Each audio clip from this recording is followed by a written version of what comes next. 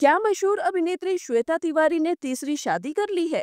Photo में श्वेता दुल्हन के जोड़े में सजी दिख रही है और वो आठ साल छोटे एक्टर विशाल आदित्य सिंह के साथ शादी करती दिख रही हैं। श्वेता और आदित्य ने कलर कोऑर्डिनेट आउटफिट पहना हुआ है और गले में सफ़ेद गुलाब की वरमाला है। श्वेता की मांग में सिंदूर भी नज़र आ रहा है, लेकिन इस वायरल फ़ोटो का सच वो नहीं है जो दिख रहा है।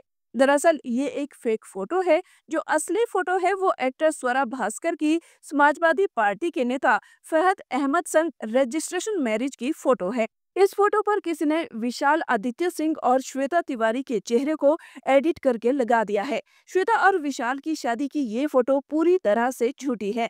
बता दें कि श्वेता तिवारी और विशाल आदित्य सिंह अच्छे दोस्त हैं, उन्हें खतरों के खिलाड़ी में भी देखा गया था।